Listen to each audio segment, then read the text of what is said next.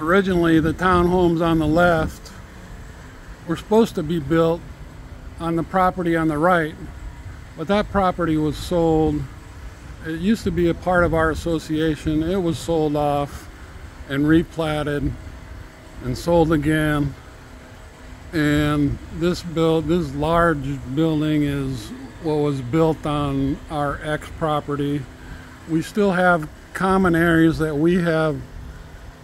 Uh, they're actually, it's actually our property that we've that we've given them easement to. One of the easements is the property you're looking at now is it's a small retention pond.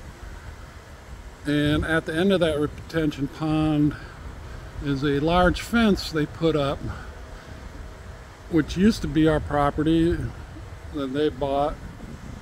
Uh, we have a grievance. He's blocking our water view of that fence with that fence.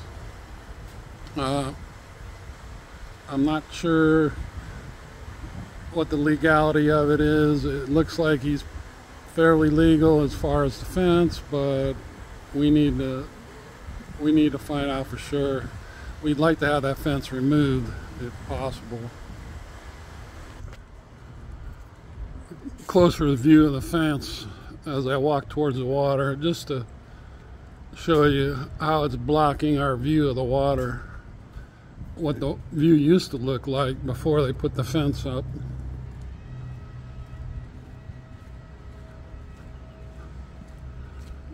There's the fence. They actually installed those palm trees on our property without asking us no notification just one day they were there that is our property, which they have utility easement over.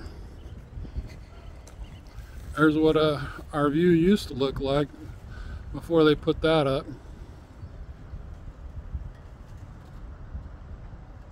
Nice view.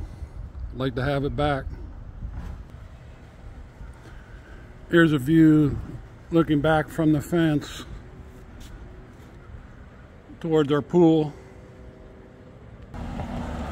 Another area of dispute is this is our driveway entrance to our complex. When Quiet Cove bought the property next door, we retained the property, entrance property, and uh, they are building a security station on our on their easement utility easement over our property.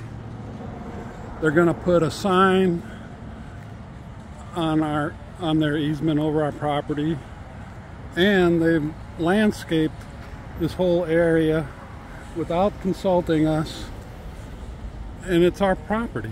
They have a utility easement. We don't believe they have the right to do that. So that gives you a brief synopsis of what's going on.